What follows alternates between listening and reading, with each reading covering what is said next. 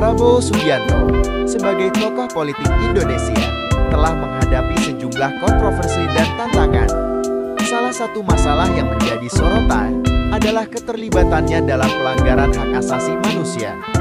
Selama masa krisis politik tahun 1998, yang pada akhirnya menyebabkan penghentian kedinasannya di TNI e Tentara Nasional Indonesia pada pemilihan presiden tahun 2014 dan tahun 2019.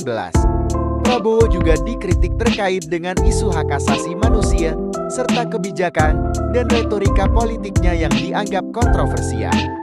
Beberapa pihak memandang masa lalunya dalam aspek militer dan kontroversi politik sebagai hal yang memunculkan kekhawatiran.